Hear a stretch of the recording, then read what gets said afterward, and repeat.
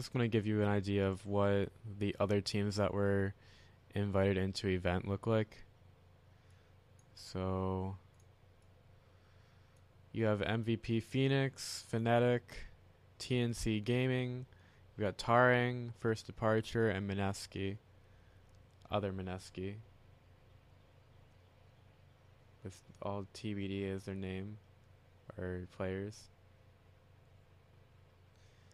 Anyway, that's what the the actual Southeast Asia qualifier looks like.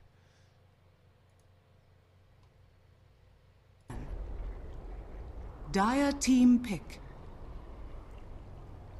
So, from Silence. from how I uh, understand it, both of these teams are Radiant into the event team pick. and they don't care what their seating is at Radiant all team pick. because you just you just go into an 18 bracket anyway with an upper bracket and a lower bracket. It really doesn't matter where you Dire are. team pick. So they're just gonna go through this draft, not really care. Warlord.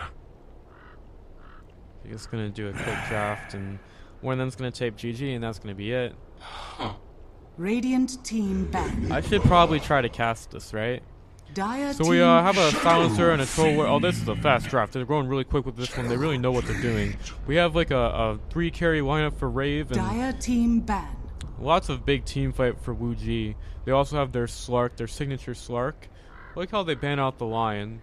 Um, definitely a good Tide hero. Okay, big Enigma Tide here for team WuJie. Really pulling out all the stops for this one. And wow, I really have no idea how Team Rave are gonna are gonna lane this. We've got Ninja Boogie on the Shadow Fiend. It's really interesting. Oh, Enigma is going to be played by Ajay. So uh, it's really, really cool there. Um, we usually see him on a carry, so it looks like it's going to be a carry Enigma. And then we've got a Jo Silencer. Really, really interesting stuff right there.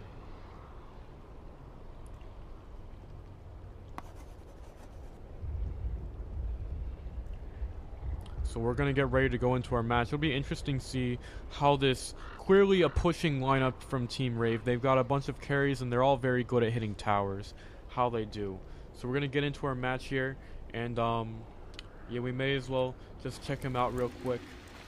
Only mid, all right? Prepare for battle.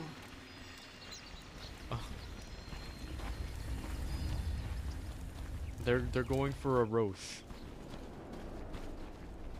All right, so let's let's let's look at this.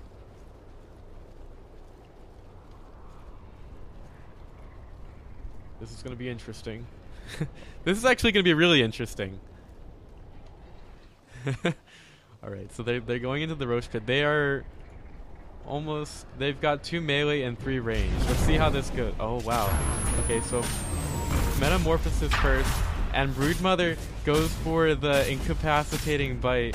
Oh no, they're gonna have to someone else. They're killing Rosh. They're all killing Rosh. Oh no, they're actually killing the Invoker. 30 seconds to battle.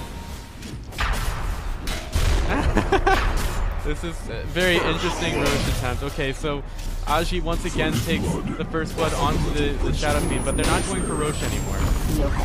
They're not killing Rosh. All that matters. Johnny. Oh wow, he's he used a faerie fire. He might get out, and the troll hitting him. He's not got vision.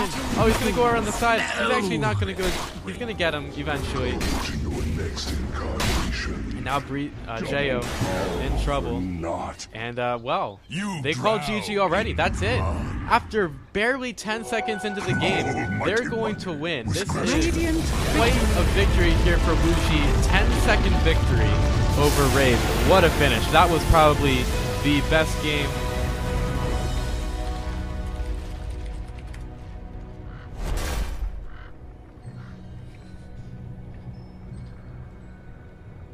That was the best game I have ever seen in my entire life. This has been an extremely awesome victory. Look at these builds, just absolutely incredible from the players.